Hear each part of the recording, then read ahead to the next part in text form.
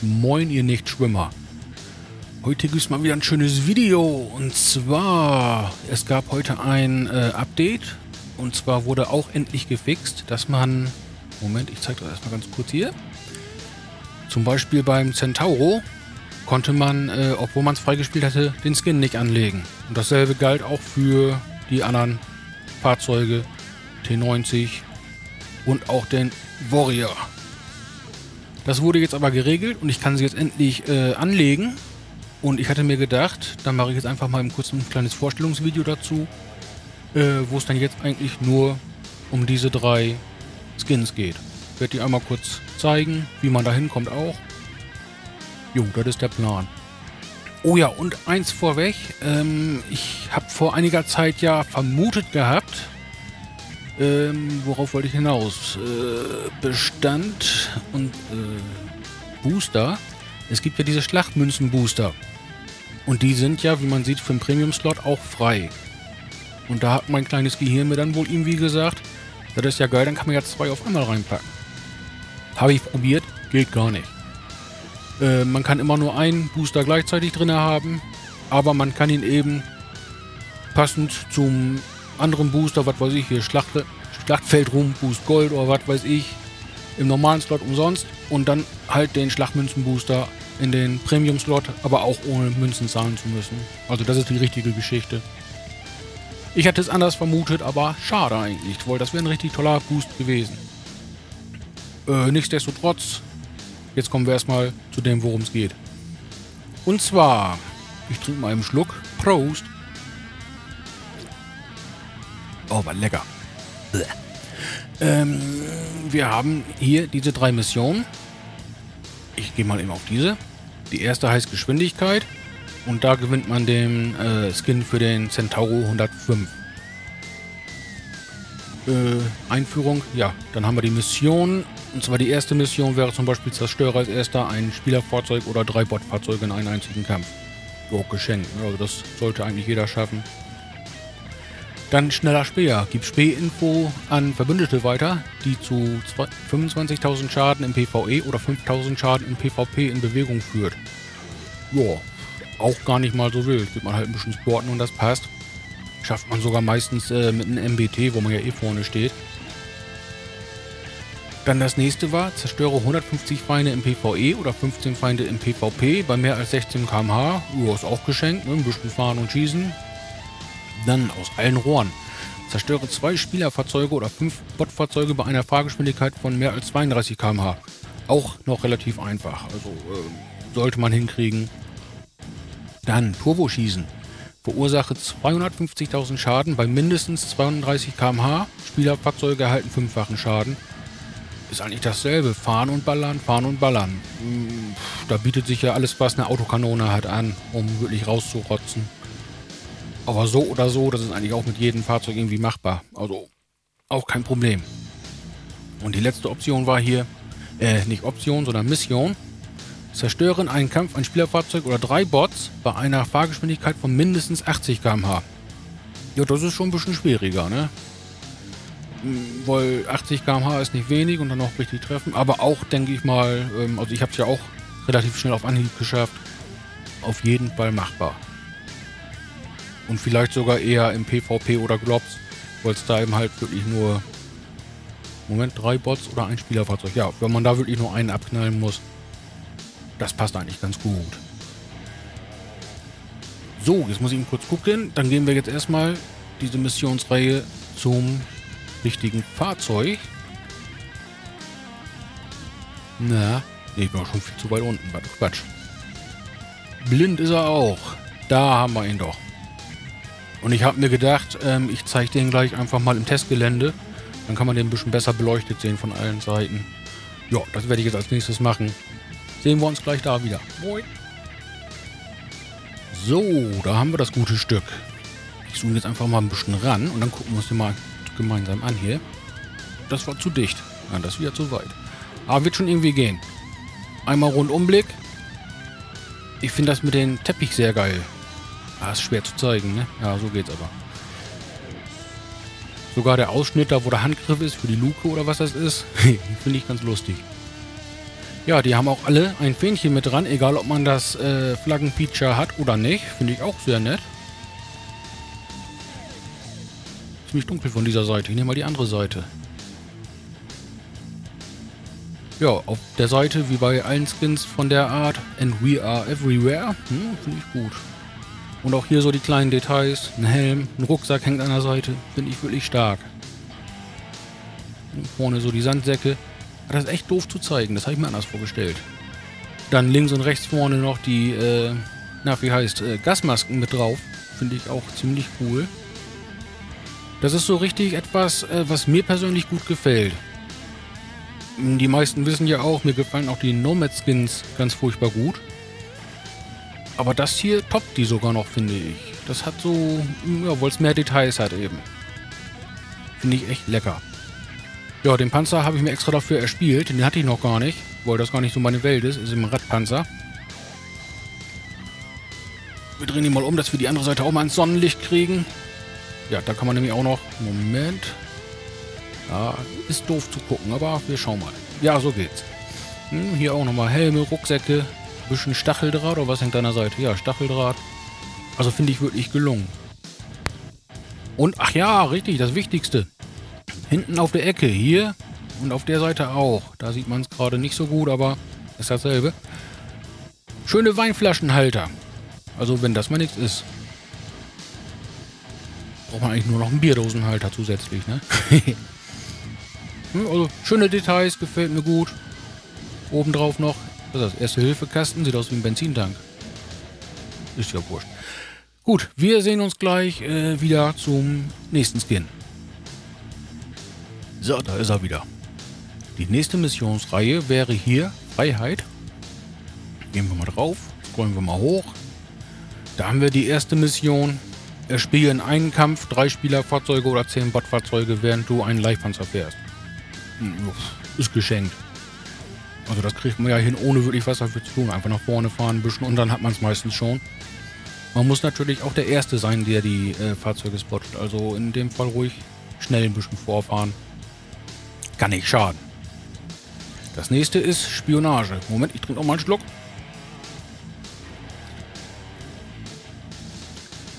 Ah, furchtbar, wenn man einen trockenen Hals hat. Bäh. Das Wasser schmeckt auch plörrig hier. Giddy, giddy, giddy. Wo waren wir? Spionage. Gibt Spätinfo an Verbündete weiter, die zu 25.000 Schaden im PvE oder 5.000 im PvP führt. Im Leichtpanzer. Ist auch nicht das Schwierigste. Ein bisschen sporten und hoffen, dass die anderen treffen.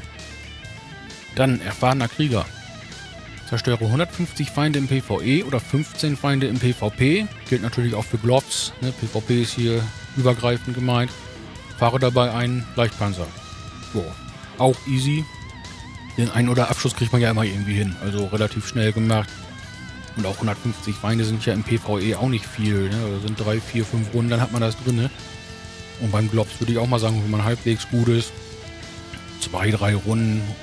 Und wenn man nicht gut trifft, dann halt fünf, sechs Runden. Aber das ist auch relativ einfach zu machen.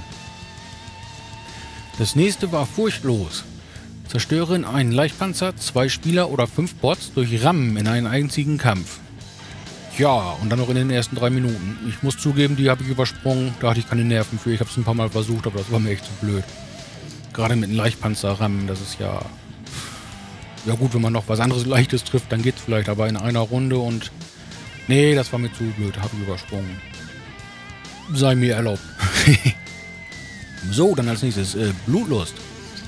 Verursache 250.000 Schaden, fahre einen Leichtpanzer Schaden an Spielerfahrzeugen wird fünffacht. Ja, einfach ballern, ballern, ballern. Ne?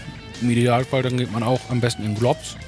Die Runden sind lang, die Leute respawnen und man kann einfach draufhalten. Ne? Geht schnell. Und da es ja eben äh, verfünffacht wird, hat man ja auch relativ schnell die Punkte zusammen, wenn man es im PvP-Bereich macht. Also auch einfach zu schaffen. Dann Liquidator. Zerstöre in einen Leichtpanzer drei Spieler oder 15 Bots in einen einzigen Kampf und füge den höchsten Schaden pro Kill zu. Das heißt, mh, angenommen ein Fahrzeug hat jetzt genau äh, 1000 Hitpoints, dann musst du ihn auf jeden Fall mindestens 501 Schaden gemacht haben, ne? also den meisten Schaden, und ihn auch gekillt haben. Ist manchmal nicht so leicht, aber äh, habe ich tatsächlich durch Zufall hingekriegt. Ich bin einfach ein bisschen mit einem Leichtpanzer gefahren und irgendwann war es dann soweit. Also kann man äh, direkt drauf spielen oder halt den Zufall entscheiden lassen. Man hat ja auch genug Zeit. Ja, und dafür bekommt man dann den Warrior Skin. Und den zeige ich euch jetzt gleich äh, auf dem Testgelände. Da sehen wir uns wieder. So, halt, stopp, Planänderung. Ähm, ich werde das doch nicht im Testcenter machen, weil man es hier einfach besser zeigen kann. Man kann besser ranzoomen und alles drehen. Ja, da haben wir den Warrior Skin. Warrior, Warrior, ich kann das nicht aussprechen. Sagen wir Warrior. und hier auch schöne De Details eben mit den Rucksäcken, die da hängen. Der Spruch And we are everywhere ist schon ziemlich cool. Das Fähnchen oben dran. Hier vorne auch wieder Helme, Rucksäcke, Stacheldraht und die Gasmasken, Sandsäcke. Also ist schon ziemlich cool. Ach, das Emblem habe ich noch gar nicht gesehen gehabt. Nett, nett, nett. Ja, auf dieser Seite ist zwar jetzt ein bisschen schattig, aber man sieht ja eigentlich auch hier schön dekoriert mit Stacheldraht und den Ausrüstungsgegenständen. Und obendrauf wieder der Teppich. Das finde ich so eine geile Idee. Hier einfach mal so ein Flocati auf den Panzer legen, das ist schon ziemlich cool. ja, das Fähnchen ist hier auch dran. Der Raketenwerfer. Milan-System. Haben sie im Grün belassen. Kann man machen. Also auch hier gilt, ähm, gefällt mir richtig gut, sieht geil aus und hat sehr schöne Details. Also solche Skins dürfen ruhig öfters kommen, also vom Detailgrad her. Also nicht nur thematisch, sondern allgemein so fein ausgearbeitete Sachen. Das gefällt mir gut. Guti, haben wir auch gesehen.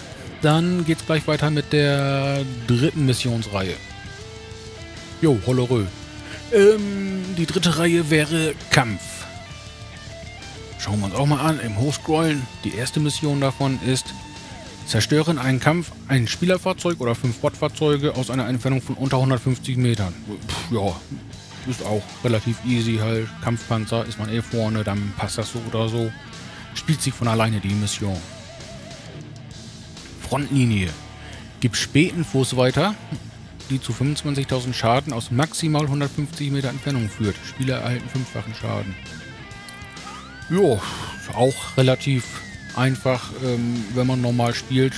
Das passt automatisch irgendwie. Das geht von alleine, ohne dass man sich groß drauf konzentrieren muss. Close Combat Ace. Zerstöre 150 Feinde im PvE oder 15 Feinde im PvP aus maximal 150 Meter Entfernung. Jo, dasselbe. Einfach spielen und dann passt das schon. Am besten eben MBT, dann ist man ja weit vorne sollte für keinen wirklich problemlos, äh, sollte für alle problemlos sein, so wollte ich sagen. Oder für keinen ein Problem. Kann man sehen, wie man will. Urteilt selbst. Ha! Firestarter. Setze in einen Kampf zwei Spielerfahrzeuge oder fünf Botfahrzeuge aus einer Entfernung von unter 150 Metern Brand. An dieser Mission habe ich mir die Zähne ausgebissen. Ich hatte den Sanna drinne auf allen möglichen Fahrzeugen, die irgendwie was mit Feuerentfachen zu tun haben. Und ich habe es nicht einmal hingekriegt. Sonst klappt das immer, aber wenn man es braucht, geht es nicht. Sage ich auch ganz ehrlich, ich war irgendwann genervt und habe es übersprungen. Aber eigentlich sollte es auch ähm, möglich sein. Ich hatte einfach nur Pech, schätze ich mal. So, dann geht es weiter mit Zerstörer. Prost. Alter, wenn der Sommer nicht bald aufhört, dann wandere ich aus, ey. Zerstörer. Verursache 250.000 Schaden aus maximal 150 Meter Entfernung. Spielerfahrzeuge erhalten fünffachen Schaden. Ja, auch hier gilt, äh, spiel einfach ein MBT und das läuft von alleine. Also da muss man nicht viel für tun. Spielt sich echt von allein. Und die letzte Mission ist Gerader Schlag. Füge einen Spieler oder drei Bots in einen Kampf maximalen Schaden zu und zerstöre sie durch Rammen. Hat bei mir ein bisschen gedauert, aber ging relativ schnell. Ich überlege gerade, ich glaube, ich hatte das mit dem äh, M1A1 Storm gemacht, wegen den erhöhten RAM-Schaden. Bin einfach auf Leute losgejagt, hab äh, im Fahren geschossen und bin zum Schluss reingerast in der Hoffnung, dass das reicht und das hat dann eigentlich ganz schnell geklappt. Also war keine große Aktion. Und da haben wir eben auch schon einen Unterschied. Die Missionen sind alle machbar. Wenn ich da an den letzten Battle Pass denke, huiuiui, war das ein Käse. Die waren schwer, die waren unnötig, die waren in Spielmodi, wo man nicht spielen wollte. Man wurde gezwungen, eben Sachen zu machen, die man nicht will. Und haben auch das komplette Teamplay zerstört gehabt. Und daher muss ich hier ganz ehrlich sagen, äh, super. Also das haben sie gut gemacht. Für jeden erschwinglich, für jeden zu machen, ohne große Probleme. Ja, und dann gibt es ja hier noch diese Wahnsinnssache für die neue Kommandantin. Das werde ich mal separat behandeln. Ich weiß echt noch nicht, ob ich mir die hole. Ich mag die nicht. Für mich ist das eine Schummel, Schummeltussi.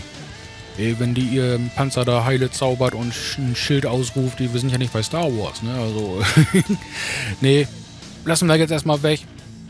Und ich habe beinahe noch eins vergessen. Man braucht ja, ich gehe nochmal aufs Profil, um sich diese drei äh, Dinger freizuschalten, die sind nicht alle frei von Anfang an, muss man sich Tickets erspielen. Das klingt jetzt schlimmer als es ist. Einmal ganz zurück bitte. So, beim ersten Einstieg hat man schon ein Ticket. Das heißt, man kann von Anfang an direkt äh, eine Missionsreihe freischalten. Welche ist einem selbst überlassen. Kann man machen, wie man will. Dann auf Rang 7. Hier unten steigt man auch noch mit wenig, äh, relativ wenig Münzen auf. Also da muss man nicht diese vollen 3300 latzen. Das ist schnell gemacht, kommt man schnell durch. Auf 7 gibt es das zweite Ticket. Und auf, ich glaube 12. Ja, auf 12 war es das dritte Ticket, womit man dann in die, die dritte Reihe freischalten kann. Ja, auf 10 gab es ja schon den Ontos, den habe ich ja schon mal gezeigt. die olle Knutschkugel. Mann, ist das Ding merkwürdig. Hm. Ja, Text vergessen, ne? Scheiße. Also, Tickets habe ich euch gezeigt. äh, richtig. Und dann nur noch zur Information. Ich gehe nochmal auf die Missionen.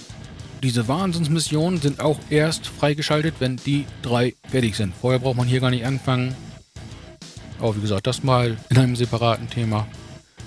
Ich mag die alte nicht. Bah. so, und jetzt kommen wir zu dem, was ich noch zeigen wollte. Und zwar der dritte Skin. Ja, das ist doch fein. Wie doof kann ein Panzer gucken, oder? da fehlen nur noch Augenbrauen. Naja, nicht schlecht. So, gucken wir uns auch mal an. Den musste ich mir auch erspielen, den hatte ich auch noch gar nicht. Mir fehlen noch so viele Panzer, ey.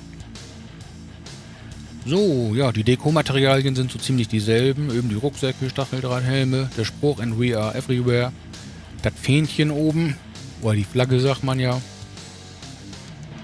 Hier auch vorne wieder an anderer Stelle die Gasmasken oder Schutzmasken, wie man es nennen will, ABC-Schutzmasken. Ersatzbenzin oder Diesel wird es wahrscheinlich eher sein. Also gefällt mir auch richtig gut. Hier hinten der Teppich wieder mit drauf. Finde ich auch super.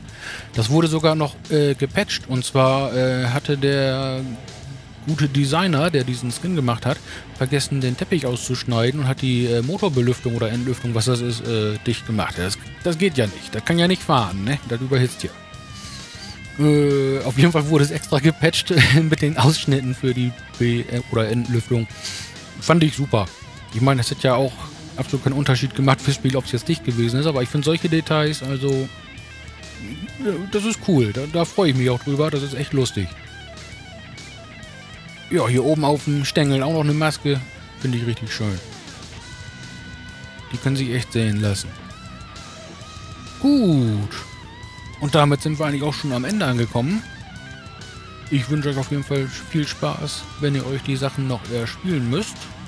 Oder wenn ihr sie schon habt, wünsche ich viel Spaß damit, äh, sie zu benutzen jetzt, wo der äh, Bug gefixt ist, können ja auch die Leute, die es vorher nicht konnten, endlich die Skins draufknallen. Und das ist super. Jo, dann bis zum nächsten Mal und haut rein, ne? Moin!